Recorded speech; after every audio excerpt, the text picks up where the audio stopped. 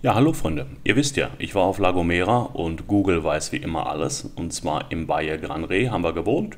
Und da gibt es einen Teil über das Valle Gran Rey selber.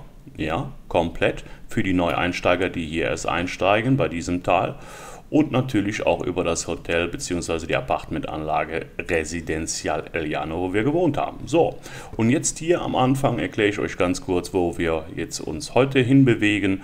Und zwar einmal eine kleine Inseltour, erstmal hier in Richtung San Sebastian, der Hauptstadt, und dann zurück hier über die Orte wie Hermigua und an der Stelle hier oben Agulo, könnt ihr da sehen, diese Geschichte hier. Ne?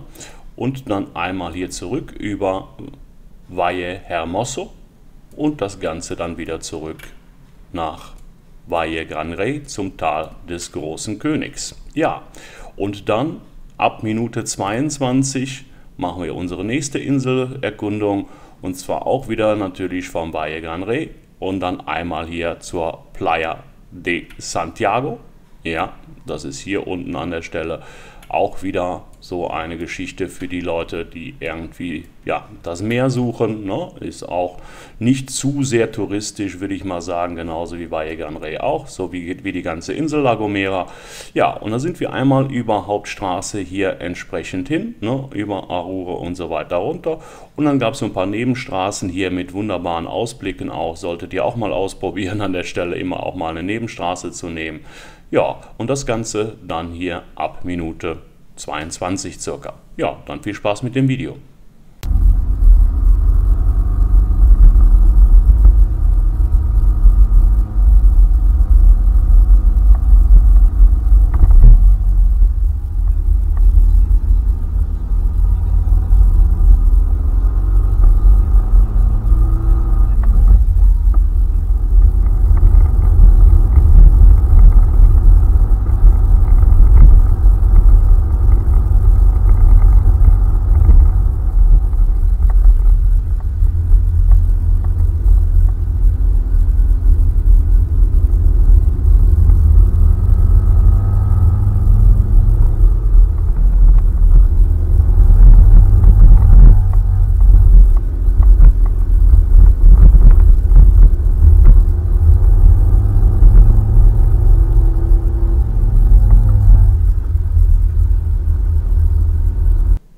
Nein, keine Angst, Leute.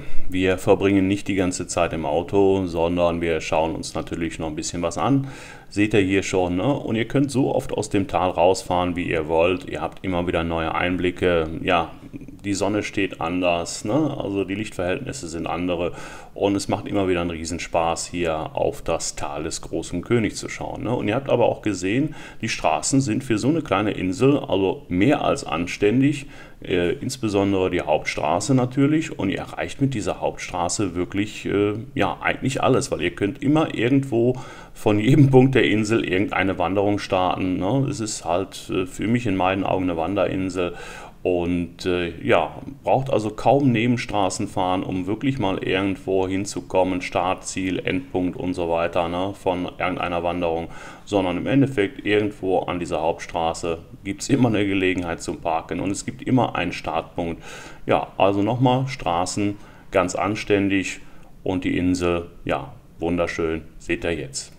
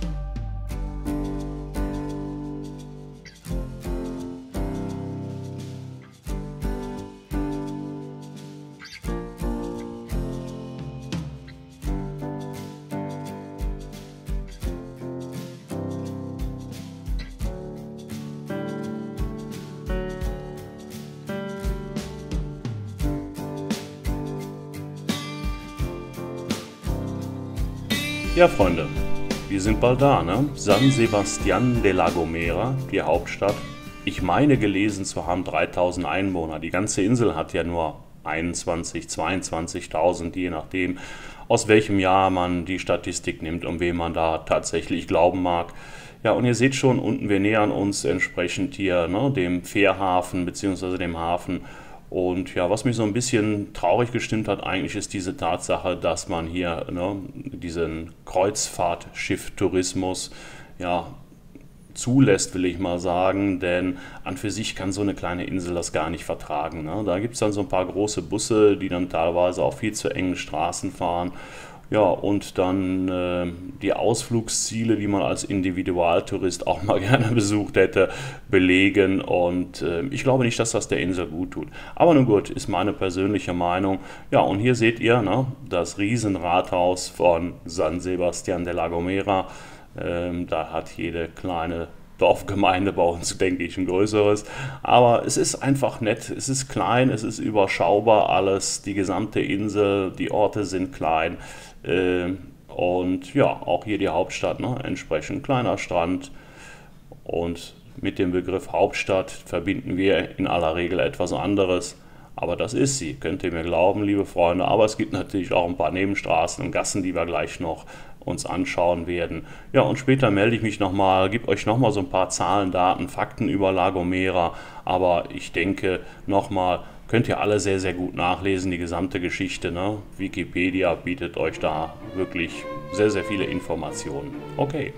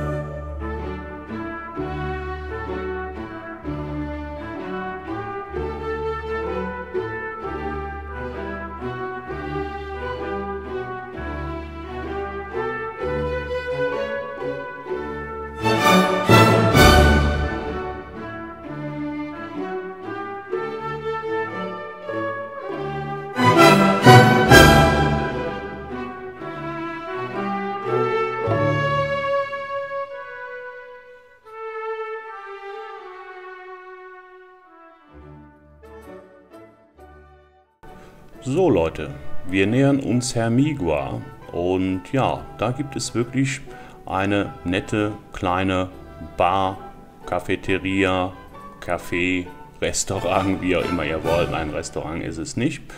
Ja, kommen wir gleich vorbei, zeige ich euch, ne, wenn wir im Auto vorbeifahren. Und zwar ganz genau hier rechts. Und das Ganze wird von Pedro geführt, ein wirklich ganz lieber, netter Kerl, den ihr gleich auch noch sehen werdet. Und ja, ihr habt schon gesehen, ne? nette Tapas und so weiter und so fort. Eine nette Terrasse mit schönem Ausblick. Und ich bin zweimal äh, dort gewesen und ja, ich habe keine Bustouristen gesehen an der Stelle. Insofern denke ich, habt ihr gute Chancen, auch dort wirklich äh, eure Rast in Ruhe zu genießen. Auch wirklich eine Empfehlung, irgendwie so nach einer Wanderung und so weiter. Ja, das Hermigua selber ist eine Straße, eigentlich fährt man durch ein Rathaus ne, und hat nicht allzu viel zu bieten. Aber hier die Geschichte eben halt, dieses Lokal mit der Terrasse, da solltet ihr unbedingt anhalten. Und nochmal, netter Kerl, gute Speisen, ich meine sogar sehr, sehr viel Kuchenauswahl auch. Also das mal so als kleiner Tipp für euch. So, wenn ich sagte eine Straße, ist es nicht ganz richtig, weil man muss immer unterscheiden. Ne? Es gibt natürlich Hermigua und Playa de Hermigua, das heißt es gibt auch einen Strand und den seht ihr dann äh, gleich hier im Anschluss an diese Bilder. Ne? Ja, da ist er ja in voller Lebensgröße, unser Pedro. Also wirklich tolles Lokal und bei schlechtem Wetter ne, auch innen ganz nett zu sitzen. Natürlich, man sitzt lieber draußen, ich denke, das ist klar. Ja, und jetzt mal zur Playa Hermigua.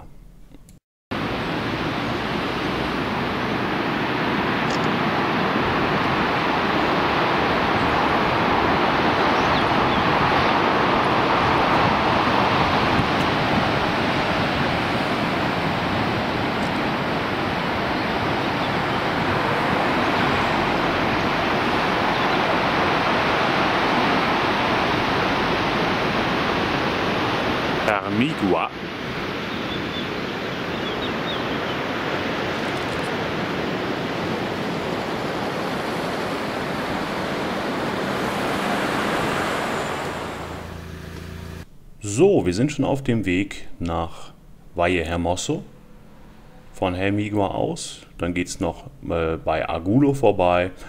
Und ihr seht, ne, die Straßen teilweise, wer es so nicht damit hat, ja, sind schon ein bisschen aufregend ne? und insbesondere dann auch die Nebenstraßen manchmal.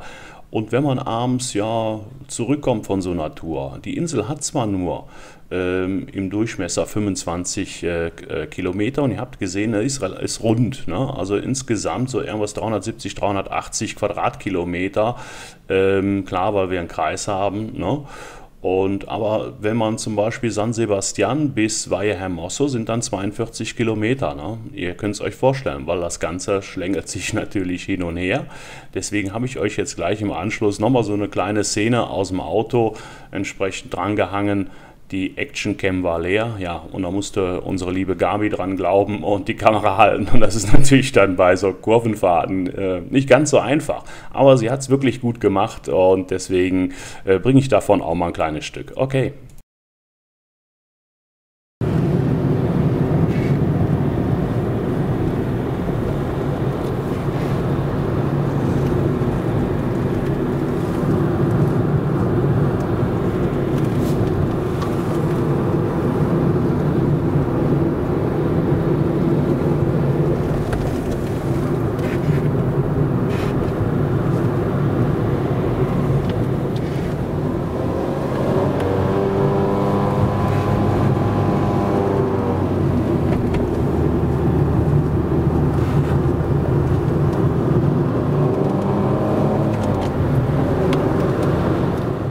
So, wir sind auf der Zielgeraden Weihe Hermoso, also frei übersetzt, schönes Tal. Und das ist es auch. Es ist ein schönes Tal. Das könnt ihr selber, denke ich mal, anhand der Bilder hier sehr, sehr gut nachvollziehen. Also wunderschön gelegen und ja, ähm, ich sage mal, keine großartigen Bausünden. Ne? Und äh, wirklich ein Dörfchen, so, wo man sagt, okay, das macht Spaß äh, mit dem Auto ist es ein bisschen schlechter, weil äh, da sind dann wirklich teilweise Straßen, ja, wo man auch mal zurückfahren muss. Aber toll, absolut toll, hat einen riesen Spaß gemacht. Und ihr seht hier nochmal ne, die Landschaft, also ganz, ganz toll gelegen. Ja, was soll ich euch noch über die Insel sagen? Wie gesagt, ihr könnt ja heutzutage alles googeln, Wikipedia und so weiter und so fort. Ne? Ja, 21.000 Einwohner könnt ihr euch vorstellen. Ne? Das sind so pro Quadratkilometer irgendwas um die 57 Einwohner. Ähm, also es geht schon sehr, sehr ruhig und beschaulich hier auf der Insel ab. Nachteile habe ich euch genannt. Ne? Das ist einfach dieser ja, Kreuzfahrttourismus, Kreuzfahrtschiff-Tourismus. Ähm, Finde ich persönlich nicht gut. So, ansonsten aber werdet ihr zu 99% Ruhe haben und äh, von diesem Tourismus gar nichts mitbekommen. Ne? Also die werden immer zu gewissen Punkten gekarrt, äh, irgendwelchen Ausflugslokalen, sonst irgendwas. Bekommt ihr gar nicht mit.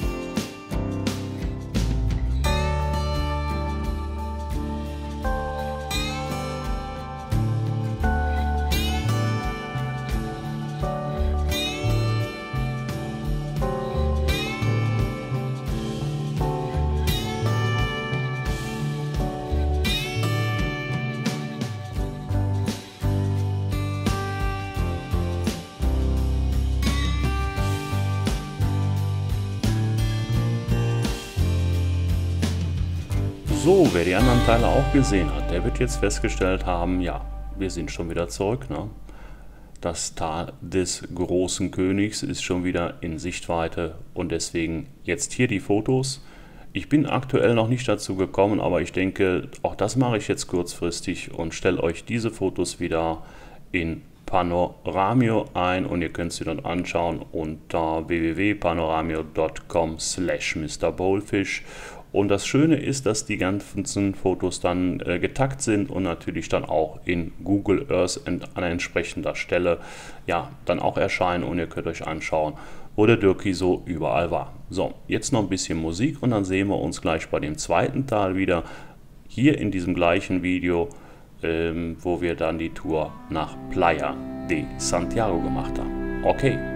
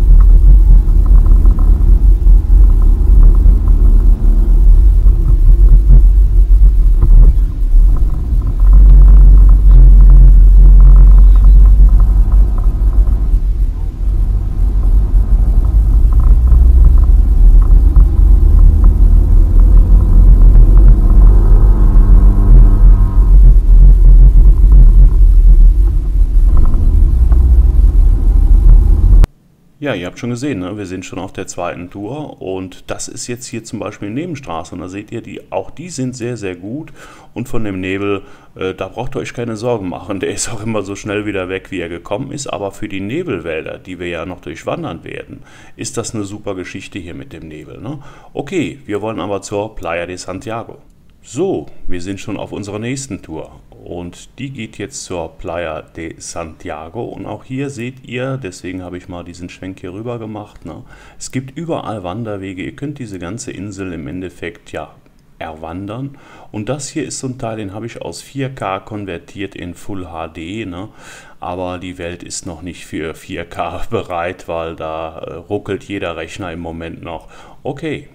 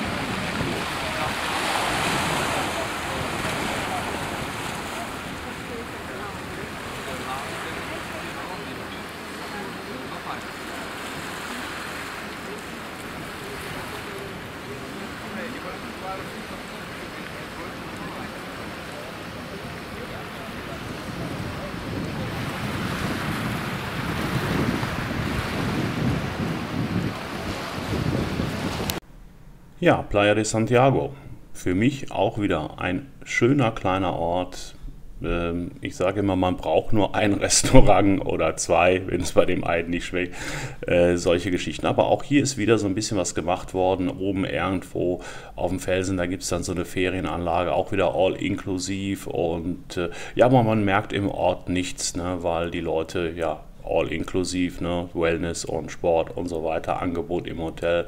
Ja, die gehen vielleicht abends mal als Spaziergang dann hier in den Ort, wird dann vermutlich die äh, Geschäftsinhaber hier nicht so sehr erfreuen, ne? solche Geschichten. Aber na gut, soll jeder an Tourismus das machen, was er gerne macht. Und hier seht ihr nochmal die ganze Geschichte vom Steg aus. Ne? Eben anfangs der linke Strand, dann hier dieser rechte kleine Strandabschnitt. Also nochmal, für mich wieder eine sehr schön gelegene und sehr, sehr schöne Geschichte. Ist nicht mehr viel los, es waren noch einige Ladenlokale entsprechend zu, aber das ist klar, wenn man da äh, den Tourismus so fehlsteuert mit All-Inklusiv und sowas, naja, bleibt sowas nicht aus. Aber für uns gut, umso ruhiger ist das Ganze. Okay. So, hier jetzt gleich noch einmal Playa de Santiago von oben. Es gibt auch noch einen anderen Strand, da müsst ihr einmal rausfahren und dann hinten auf der anderen Seite komplett einmal nochmal wieder runter. Bin ich auch gewesen, kurz mit dem Auto. Hier, das ist nur der Ausläufer von dem, was ihr gesehen habt. Hinten seht ihr ja den Steg, ne? So, und dann waren wir bis da ungefähr bis zur Mitte dieses Bildes jetzt. Ja, und der Rest da ist noch so eine Minigolfbahn und eine Bar und solche Geschichten halt, ne? So, jetzt kommen aber gleich mal ein paar Wandertafeln und dann seht ihr, dass diese ganze Insel, ja klar, ne, bei 25 Quadratmeter Durchmesser, ist äh, völlig durchwanderbar. So muss man das Ganze sagen. Könnt ihr also völlig durchqueren und an der Küste lang und und und und und. Ne?